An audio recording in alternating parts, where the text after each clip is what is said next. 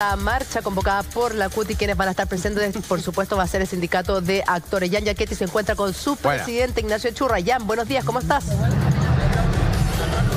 Buen día, Juli. La noticia ya la estabas comentando. Estamos eh, con el presidente del Sindicato de Actrices y Actores eh, de Chile, Sidarte, quien eh, se va a estar refiriendo a la situación que se está viviendo que ha estado liberando incluso información respecto a Herbal Abreu y queríamos comentarte y preguntarte principalmente como sindicato, ¿cómo están abordando la situación?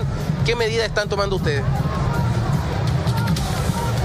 Mira, nosotros desde el primer momento hemos sido muy claros en ponernos del lado de las víctimas, le creemos a las víctimas y porque les creemos es que hemos como sindicato abierto un canal de comunicación y de denuncia.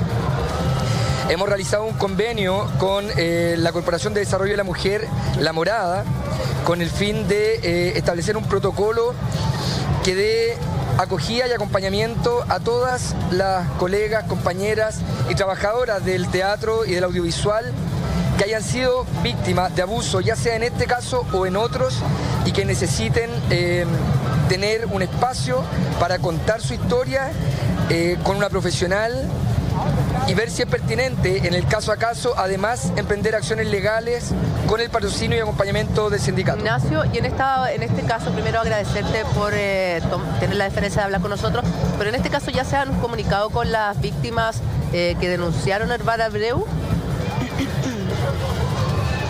Han podido comunicar con las víctimas? Perdón, no, no te escuché bien. Si ¿Se han podido comunicar con las víctimas? Sí, ah. ¿Qué le han podido hablar? Perfecto. Yo, yo he tenido comunicación con algunas de las víctimas eh, pero mira, nosotros no queremos entrar en la, en la opinión particular respecto a cada caso, porque esa es materia de la justicia.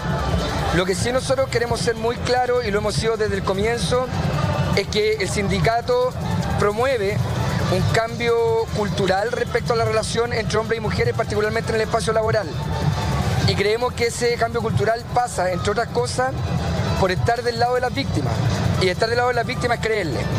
Y nosotros lo reiteramos una y otra vez, le creemos a las víctimas y porque le creemos es que no solo hacemos un acto de apoyo público, sino que tomamos acciones. Y la acción que hemos hecho ahora es precisamente crear un espacio de acogida en que las compañeras y colegas se puedan acercar a su sindicato, que es el Sindicato de Actores y Actrices de Chile, a contarnos su caso de forma absolutamente reservada para ser guiado y acompañado por profesionales, tanto en el ámbito psicológico como en el ámbito legal.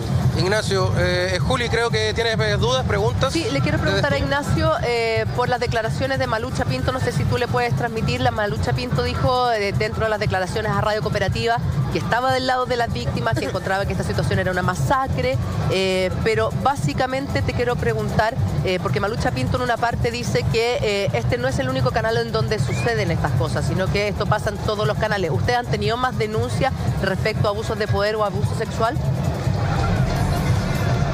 No, eh, no tenemos ninguna denuncia eh, formal en el sindicato. Eh, yo no conocía estos hechos, yo no conozco personalmente a Herbal, no trabajé nunca con él, probablemente hemos estado en alguna actividad pública, pero no lo conozco personal ni profesionalmente. y el sindicato no tenía antecedentes y ahora que tenemos antecedentes es que estamos actuando decididamente.